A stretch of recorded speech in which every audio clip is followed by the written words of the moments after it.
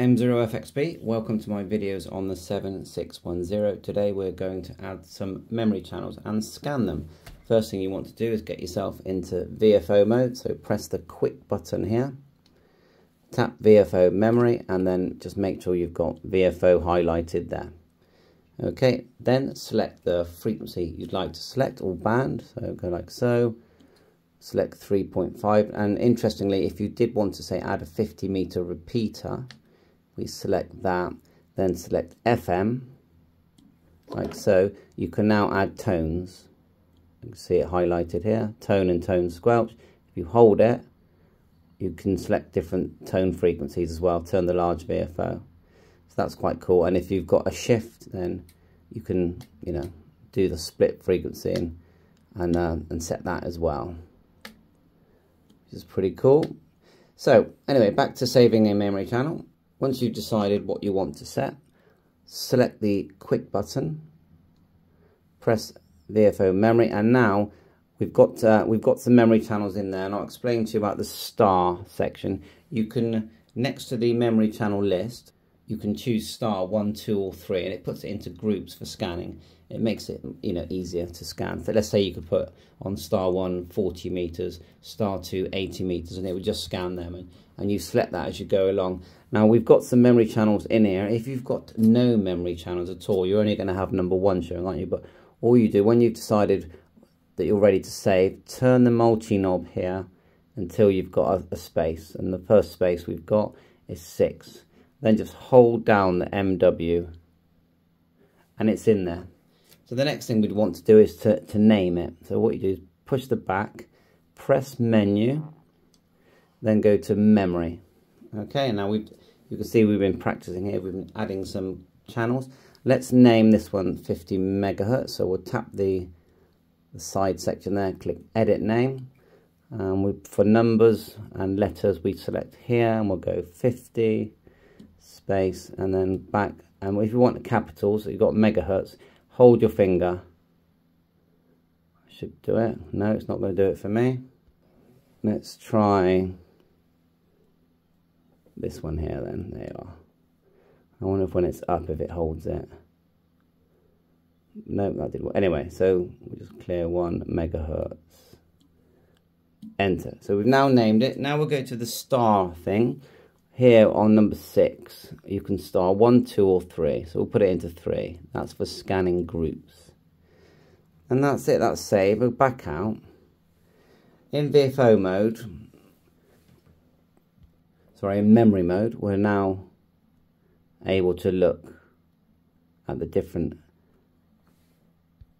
okay so when you're in VFO mode which we are in now you can see the memory channels underneath but they don't change okay if you go to quick VFO memory then go back into memory mode back out we can now scroll through the memory channels and even see the blank ones as well Now press menu, scan. We're in the scan menu selections. You can select the number. Remember we talked about the star here, look. So if we want to scan all of them, you just show star 1, 2 and 3. Now press memo. And it goes into memory scan mode. Okay, and there's a, it's pausing, it's listening to you know, for a channel or for an activity, and then it moves on to the next. If you press set, you can go to scan speed and scan resume as well, look. You can set that on or off.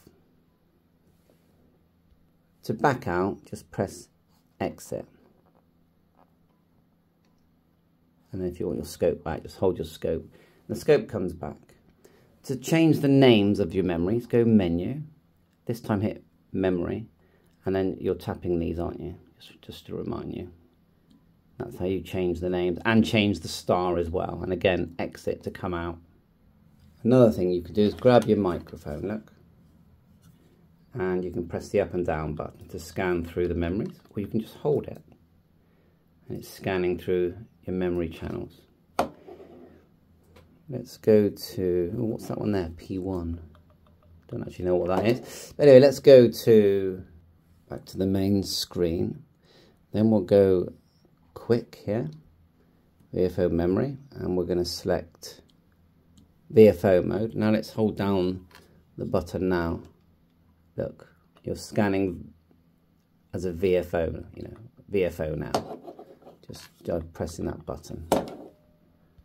I also notice when you go menu scan, you can change here the span. Where's it gone here? And there's those P1 and P2 we just saw. So I need to look into what that actually does. Look at that, that started scanning. When I pressed F scan there, just started scanning. And program scans, is that your P1? So I, uh, oh, right, okay, I get it. With the P1, P2, you can set a start and finish scan. That's what I think that is. So I believe that the P scan, you can select fine, but the span is selected for you when you select your, your you know, your frequencies. Let's exit out a minute. Go back to scope and tap a band, 40. And then we'll go back to menu, scan. I still think that the P scan has stayed the same here. We've got fine. Span. I want to see these change 0.500 to 29.99. I'm looking in the manual at page number 68. So let me know some tips on that. But what I have found is that as we change memory channels here, look up here, you press this one and it starts to scan there from where you are. We go, if I set, no it's not there exit that got our stars go back into quick VFO like so exit and then that does light up P1 and P2 so how do we change P1 and P2 because I can't see that in the advanced manual. Someone let me know. Bye for now. 7-3